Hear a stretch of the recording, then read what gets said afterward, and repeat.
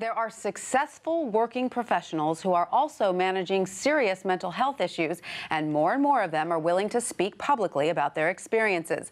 Joining us now to discuss is WSJ Health and Science Senior Editor Melinda Beck and Donna Hardaker, Wellness Works Director.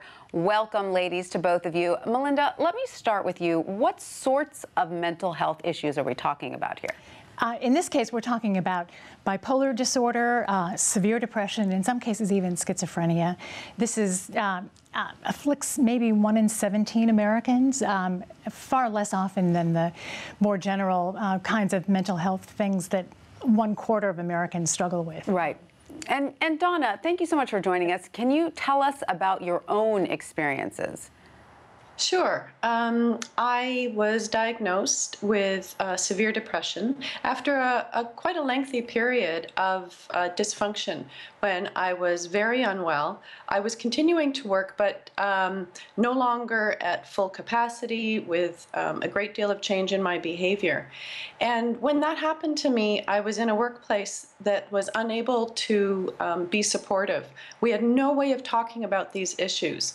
So, what um, we are doing now is really pushing forward to have professionals like me talk about our experiences so that we are able to break through the stigma, discrimination, uh, social prejudice that is associated with mental health issues, and instead bring a perspective that uh, we who have these kinds of disorders can be and are very productive, um, valuable employees.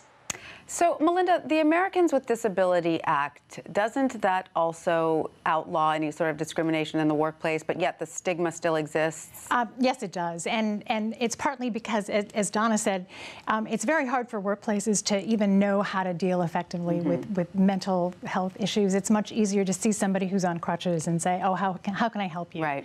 And people have mental actually health been, issues, though, are included uh, in the American yes, they absolutely Act, are. correct? Yes. Okay. Just confirming yes. that. Um, and, and technically that means that employers cannot discriminate mm -hmm. against people who have those, but there are a lot of complications sure. within that, that simple word. So, Donna, what advice do you have for others? Uh, should you mention your mental health issues in an interview? Does anyone need to know, your boss, you know, um, hu human resources, or do you need to tell anyone about it?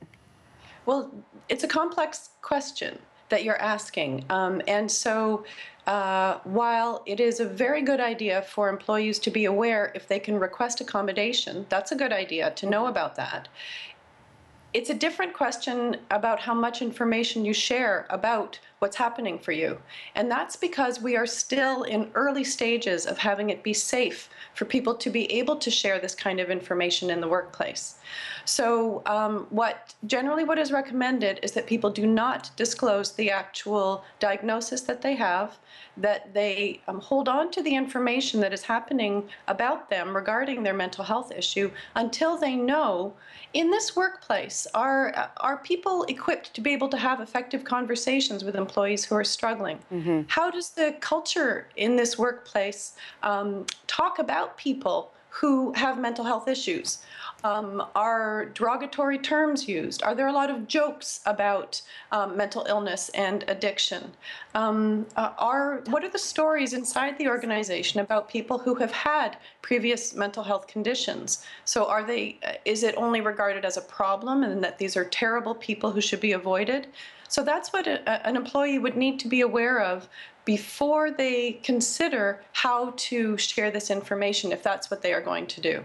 And, and, Melinda, did you speak to employers, either on the record or off the record, about how they feel about hiring um, people with mental health? Well, this is there's a whole range of both of disabilities and mm -hmm. people and employers. Of course, and of course. What, what the story in in um, in the paper tomorrow features is is the Stability Network, which is a new group that's just formed in Seattle, um, encouraging professionals like Donna um, and others that we profile to, to come forward and tell their stories. And we tell the story of, of four of those professionals, and we talk to each of their employers. And as you can imagine, um, these are all very successful people who have managed to keep their disabilities under tight control through a lot of discipline. And that's partly why they're speaking out and have come together in the Stability Network. But each one of their employers has said it didn't make any difference. Um, Great, Katherine right. or Donna was such a valuable employee that we really wanted to have them. And,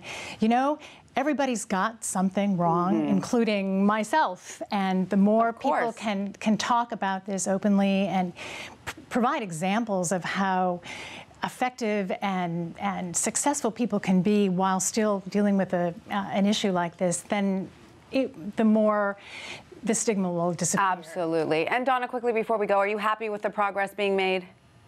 Yes, absolutely. Wonderful. Yes. Melinda Beck, Donna Hardaker, thanks to both of you for being with us today.